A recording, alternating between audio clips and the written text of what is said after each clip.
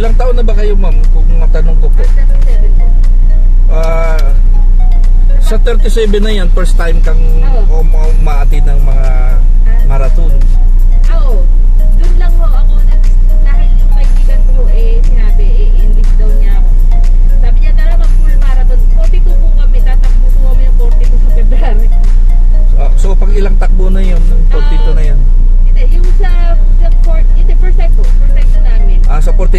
42 first time. Pero yung 21, Ay, hindi. Um, ngayon po, pangalawang 21 ko pa lang. Yung una ko 21, tinakbo ko sa UP na practice nitong, nitong Tuesday lang. oh, Pero 20 yung 21, 21 kilometers yun. Oo, sa February pa po kami talaga. Ah, Tapos, nag-practice na ako kung mula July. oo. Pero, mga 15 minutes lang. Opo, opo. Tapos 30 minutes. Gano'n. Paakyat ng paakyat ng paakyat. Opo. Turn left. In 400 meters, turn right.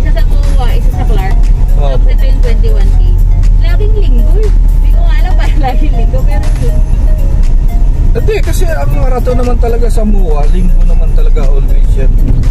Kasi yan ang pinakamaluwag na time, araw.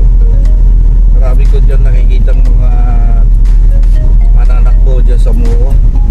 Na ganung, ganung araw. Minsan yung Milo Marathon, 7-Eleven Marathon. Yeah, yeah, yeah. An- Yan. ano pa ba yung mga May parating po McDonald's yan. McDonald's Marathon? Napakaganda ko ganun. sa sabi ko, hindi na to physical na i-train mo yung sarili mo. Talagang, Oo, Panginoon talaga. Panginoon talaga. opo.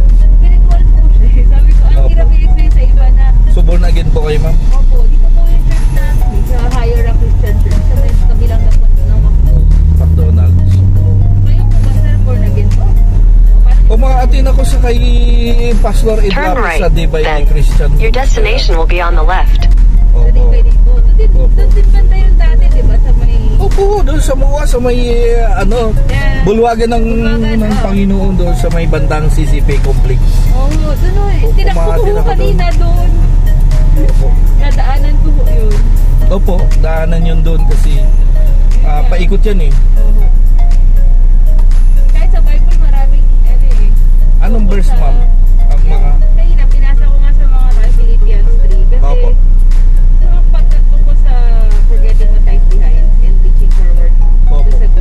So panalo ka sa mga ano, biggest loser. Opo. Kasi medyo sabi mo mataba ka. Hindi ako nagsabi ha, ikaw ha. Oo, 200 pounds ako kuya, walang biro. Dati? Grabe, no?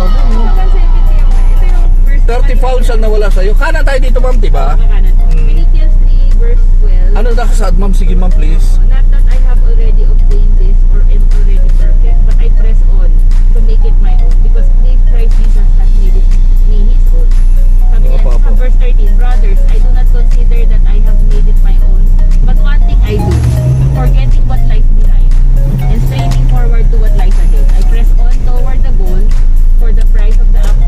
Ayun, oh, praise the Lord talaga ha. Malaking bagay talaga yung sinasabi mo ma'am. Kaya eto, napakabuti natin. So saan yun ang ano mo church dito? Itong S na po. Yung may BPI, di ba? Pagkalagpas na po. Ayun, noon yung sa may uh, new New grants. Uh, Ayan, new grains. Sa katabi niyan, S na. Ayun, Higher Rock Christian Church po. Ayun yung site. Your destination is on the left. Ay, ito sa kabila. Oo, nadang kabila po. Higher Rock. Oh, hayra. Pastor nyo dito ma'am? Uh, Bob Amigo po. Oo, oh, ganun ba? So ito na tayo, kaliwa na tayo dito. Oo. Ganun ba? Sa may isna.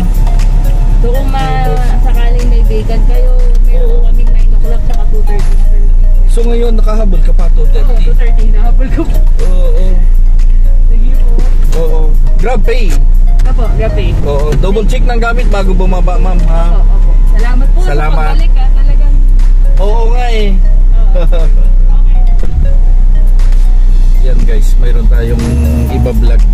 Galing sa Grab yan. Pag hinto ko doon sa may gate nila, sabi niya kuya palabas na ako. Dito naman, hihintay kong lumabas siya.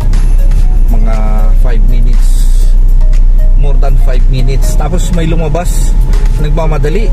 Akala ko naman, guys, yung lumabas na yun, siya na yun. Yung pala kapitbahay lang. Ay, salamat. Ito na po ba yung sa Grab? Sabi sa akin, sige opo, ito na po. O sige, undawin na tayo, sige. Let's go, let's go na tayo. Sumakay na. Tapos mga kabayan, pumatak na yung metro ko ng around 70 pesos. May tumawag. Ito na yun, ang pasahero ko ngayon. Binalikan ko kasi ang pangalan niya, yun talaga ang nakasaad doon sa Grab application. Di siyempre, naisip ko, bakit iba yung sumakay, iba yung ano, tumawag. Tapos yung pala guys, nagkakamali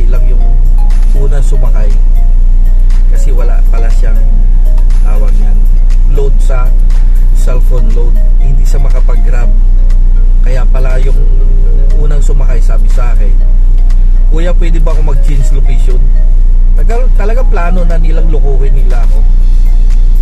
Kaso lang ang Panginoon talagang kakampi sa akin. Dahil mabuti naman ako tao. Tapos yung pasahero ko tumawag, Kuya, nasaan na kayo?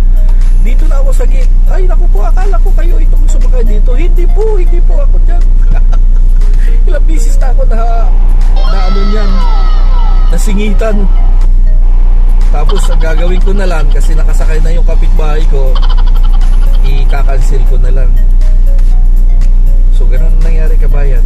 Ito yung istorya. Marathoner pala siya, nag uh, sumasali siya sa mga marathon, sa mga karera. So 20, 21 kilometers finisher siya.